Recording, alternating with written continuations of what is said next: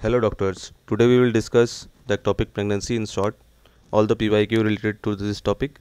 The most common position in the ectopic pregnancy is ampulla and for a diagnosis this finding with TVS scan it should be extrauterine gestational sac with embryo or a yolk sac and the beta hCG level should be more than 2000 international unit and if we talk about the management medical management less than 5000 international unit beta hCG level and it should be unruptured.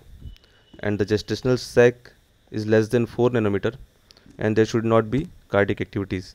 So we will proceed for the medical management by the single dose methotrexate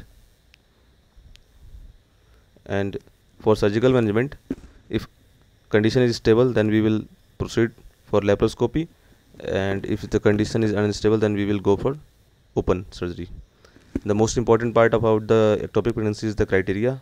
Every year asked. So, ovarian ectopic pregnancy. इसमें mnemonic इसका है कि बर्ग जो है gold बर्ग तुमने देखा होगा Goldberg W W E का फाइटर है। वो गंजा है, टकला है। तो ये कैसा दिख रहा है तुम्हें?